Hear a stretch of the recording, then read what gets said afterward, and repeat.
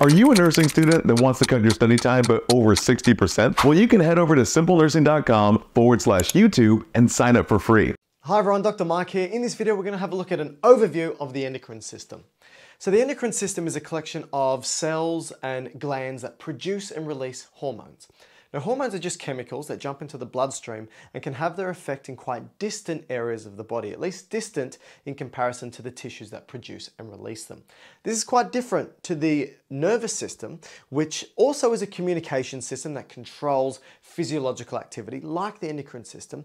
But the nervous system is fast, it's direct, and it's short acting. Now, the endocrine system is slow, it's indirect, and it's quite long acting. And so that's some of the differences, even though they're both communication networks that control physiological activity. Now, the cells or glands that produce and release these hormones, that's what we're going to have a look at today. And we're going to have a look at some of the names of those hormones and generally speaking, what they do in the body. So to begin, we should start at the top and move our way down. Now the top obviously going to be our brain. There's a really important tissue in our brain or endocrine gland called the hypothalamus. The hypothalamus sits at the base of our brain underneath the thalamus. That's why it's called hypothalamus. And I've drawn it up here. This is the hypothalamus. You can see there's an extension of the hypothalamus that has two parts. This is called the pituitary gland and the two parts are the lobes. So you've got an anterior lobe and a posterior lobe of the pituitary gland.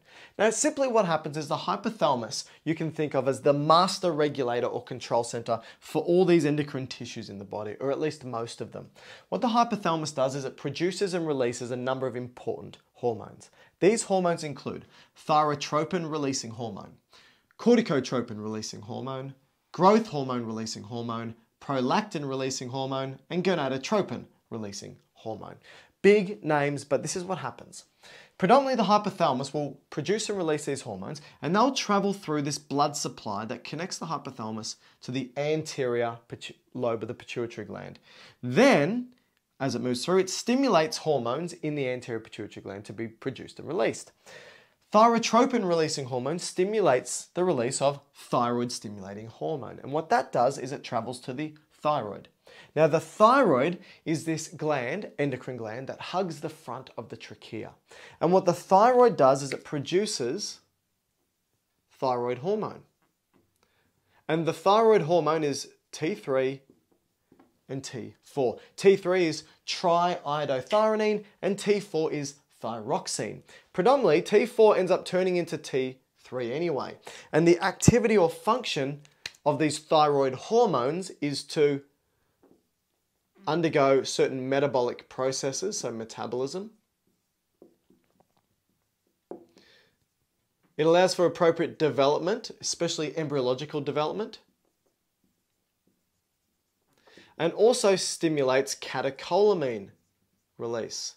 Catecholamine, catecholamines are like noradrenaline and adrenaline, or norepinephrine and epinephrine. So that's the thyroid hormones and the thyroid function. Started with the hypothalamus with thyrotropin releasing hormone, moved to the anterior pituitary where stimulated thyroid stimulating hormone, that jumped into the bloodstream, moved to the thyroid to release these hormones. When these hormones are released and their level starts to go up, they actually go back to the hypothalamus and have a inhibitory effect. This is called negative feedback. If their levels are low, that gets released. If their levels are high, that gets inhibited. Struggling to stay afloat during nursing school? Let me help you achieve our 96% pass rate by heading over to simplenursing.com forward slash YouTube and signing up for free.